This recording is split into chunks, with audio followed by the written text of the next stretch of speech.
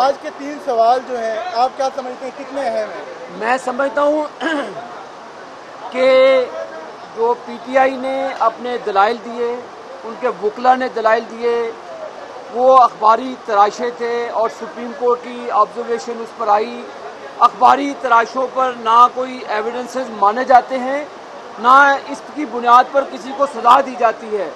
अल्हम्दुलिल्लाह, पीटीआई का झूठ पूरी पाकिस्तानी कौम ने देखा।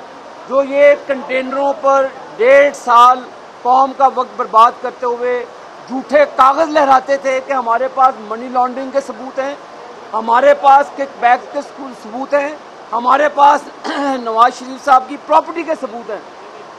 तो वो सबूत किधर हैं? अदालत उजमा ने पुकार पुकार के उन सबूतों के बारे में सवाल किया।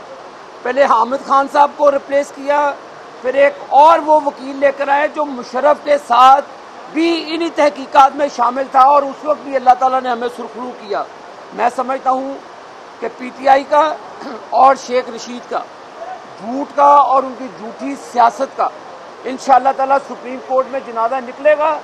हमने अपने सच्चाई को सामने लाने के लिए अदालत उजमा में एक और रिक्वेस्ट की है कि इसको डे टू डे इसकी हेयरिंग हो, ताकि दूध का दूध, पानी का पानी हो दूध पाकिस्तान की आवाम सच्चाई का पिएगी और पानी इन ताला शेख रशीद और इमरान खान बनी का के बाहर और अपनी लाल हवेली के बाहर बेचेंगे। तो कमीशन बनाने के हवाले से जो अफवाहें आप क्या समझते देखिए ये अदालत उजमा ने फैसला करना है हमने फैसला नहीं करना।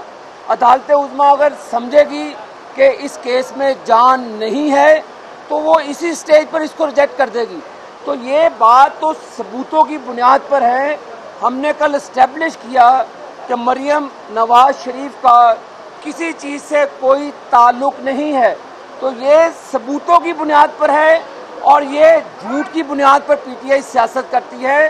तो ये अदालत उजमा में जो फैसला होने जा रहा है, वो हक और सच और ये ये जंग है सच्चाई की और बातिल के दरमियान। जो झूठ बोलता रहा, जो बोहतान लगाता रहा, वो इन ताला जहन्नम रसीद होंगे और हक और सच्चाई की इस अदालत उजमा में फतह होगी जो आवाम के साथ